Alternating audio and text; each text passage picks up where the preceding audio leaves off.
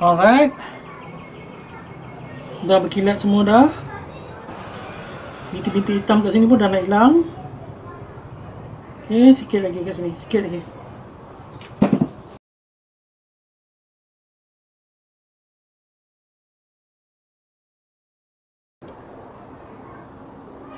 Okay dah. Dah berkilat kat sini. Lepas tu carburetor cleaner lagi.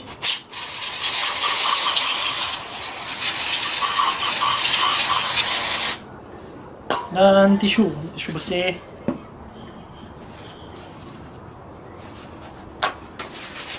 Okay, memang akan banyak pakai tisu dan carburetor cleaner kerja-kerja mencuci ni. Okay, kat sini dah berkilat. Cantik dah. Ha, kalau ada yang tak puas hati lagi tu gosok lah bagi berkilat. Okay, gonyol lah dengan wire brush tu bagi berkilat dan lubang-lubang ni betul-betul. Okay, berkilat. Cantik. Dalam lubang ni pun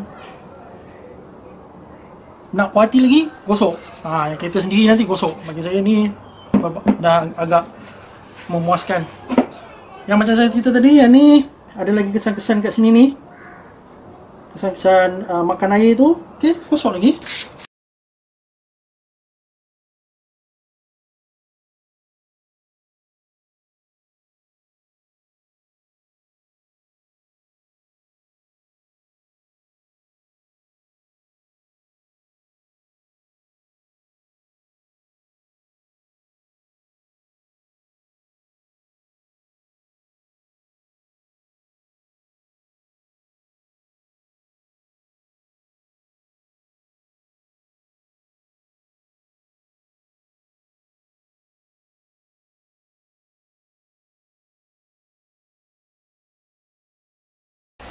Jadi kerja-kerja menggonyoh ataupun resurface balik permukaan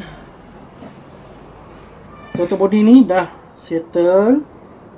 Okay, yang kat sini pun dah cantik. Kesan-kesan sikit-sikit. Kat sini cantik. Kesan makan-makan dah tak ada. Ini tak puas hati lagi nak gosok lagi silakan tapi bagi saya dah agak memuaskan hati dah ni. Okay. Seterusnya kerja-kerja nak pasang balik. Nak pasang balik ni macam saya cerita tadi gasket ni ganti baru. Janganlah kedekut sangat duk pakai gasket yang dah diguna pakai berpuluh tahun ni atau bertahun-tahun yang dah keput ni besar nanti kos kalau dia buat pangai. Kalau dia rosak nanti besar belanja nak repair. Okey, masuk gasket baru ngam-ngam cantik. Siap timbul lagi daripada ya body dia ni dia timbul. Bagus lah. Oh dah tak bocor.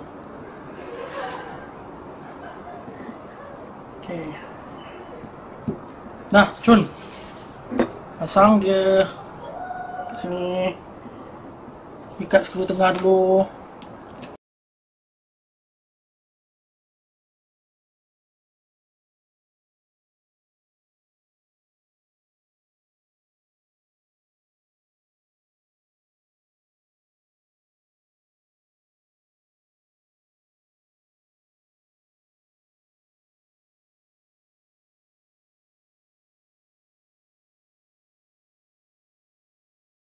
settle kerja-kerja servis dan seterusnya ni lah tak ada apa dah kat sini.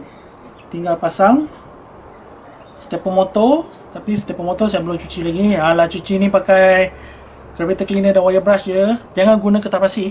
Ni muncung ni. Kalau guna kertas pasir nanti lubang dia akan jadi longgar. Dah idling setting susah. Sama juga dengan skru ni. Skru adjust uh, idling Okey, jangan guna kertas pasir, guna wire brush dan carburetor cleaner je. Okey, saya belum habis lagi. Cuci, jadi saya tak pasang lagi. Ini pun, o-ring ni pun ganti baru. Ganti baru lah, o-ring ni RM1, RM2 je. Yang ni mahal sikit lah. Yang ni murah je, yang ni murah je. Yang ni mahal, yang ni mahal, yang ni murah. Okey. Itu perbezaan antara cuci dengan servis cuci tadi adalah kerja-kerja cuci je. Cuci kabel-kabel kotoran-kotoran minyak degil semua. Dan servis adalah melibatkan penggantian barang iaitu dua biji nipple ni, nipple besi ni. Dan juga untuk ratakan permukaan ni ha, bawah ni bawah throttle body ni. Ok, tu servis. Kalau yang orang kata servis throttle body tapi hanya cuci ha, itu bukan servis, cuci sebab kalau cuci yang betul-betul pun bawah ni kita tak kena buka. Ni bawah ni. Kau tak macam mana nak korek lubang dalam ni kan? Dengan lubang dalam ni dengan lubang dalam ni. Kalau main spray-spray je tu cincai sangat. Ok cuci dah. Servis dah. Cuma saya belum pasang ni je lah. Ini ni biarlah. Malah nanti lah ke macam mana ke. Dengan skru ni. Yang last kali yang saya cerita tadi adalah setting. Ok throttle body ni dia ada lima benda nak kena setting. Lima. Ha, lima benda. Banyak. Ha, tapi orang banyakkan orang hanya setting benda lain ni satu je. Tahu tak? Yang duduk kat sini. Pusing pusing pusing pusing dia punya setting. Tapi salah. Ni ada lima benda nak kena setting. Yang pertama ni. Fix. SAS kita panggil fix. Sebab dia setting dia memang biasa dia akan lock Okey, yang ni saja boleh disetting dekat luar. Okey, yang lain kena setting dekat kereta. Fix ni satu. Adjustable ni dua. Okey. TPS tiga. Idle switch empat. Dua-dua duduk dalam ni eh. Dua-dua dalam ni. TPS dengan idle switch kena duduk dalam ni. Uh, guna scanner paling best untuk baca. Kalau pakai multimeter boleh. Saya ada buat dulu video lama dah 5-6 tahun lepas. Macam mana nak setting TPS menggunakan multimeter. Tapi idle switch tak ada. Tapi kalau guna sekarang dari zaman canggih 2021 ni Guna scanner lah. Scanner dulu boleh baca TPS punya reading millivolt boleh baca Idle switch on off pun boleh baca. Jadi empat. Yang kelima setting adalah Load. Ataupun kita panggil stepper motor punya step. Berapa step yang terbaiknya 7 hingga 20 step. Jangan terlalu rendah, jangan terlalu tinggi. Terlalu tinggi, tukar gear melompat-lompat. Okay, ni, yang ni pun kena setting. Ini pun setting menggunakan scanner. Tak boleh setting manual, main rasa-rasa agak-agak.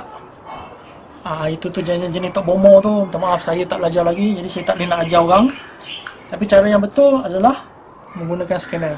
Nak baca step Step motor ni. Step yang terbaik saya duduk buat adalah lebih kurang 20-21 tapi yang uh, ikut bukunya 7 hingga 21 ok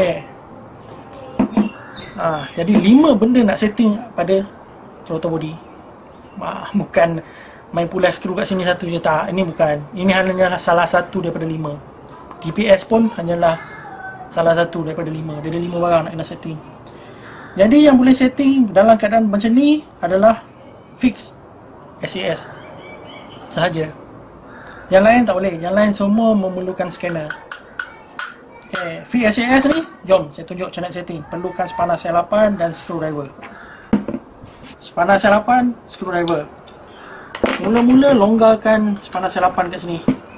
Ok biasanya uh, dia akan lekat sekali sebab dia letak kadang-kadang dia letak gam kat sini. Supaya tak nak bagi wrong set setting ni Gam dah buang. Macam mana setting ni Kita panggil fix SAS ni.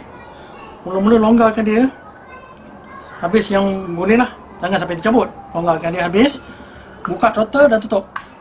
Maksudnya throttle body tertutup. 100% tertutup. 100% tertutup. Angin memang tak boleh lalu kat sini.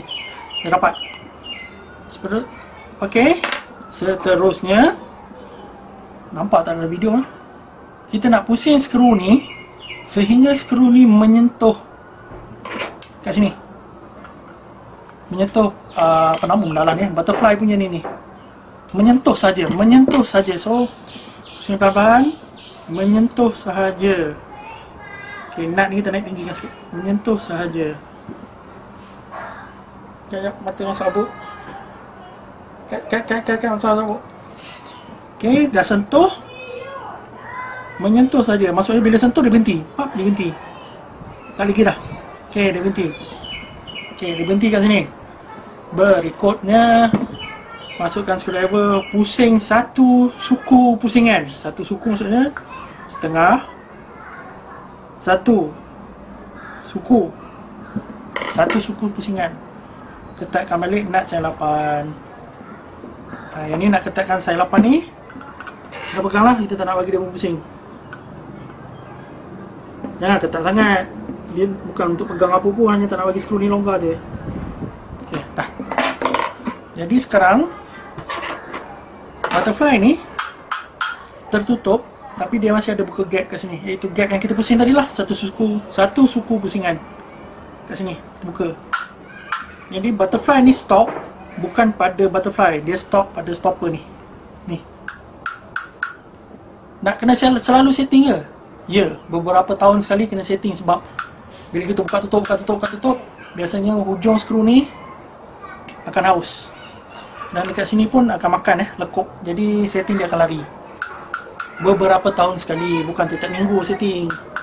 Ok fix SAS dah settle.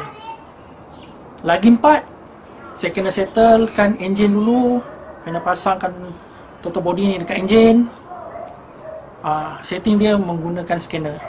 Alright. Ini bahagian satu atau bahagian dua video ni. Bahagian yang berikutnya akan bersambung selepas kereta ni siap. Alright. Alright tak alright? Okay, kita bersambung lagi lain kali.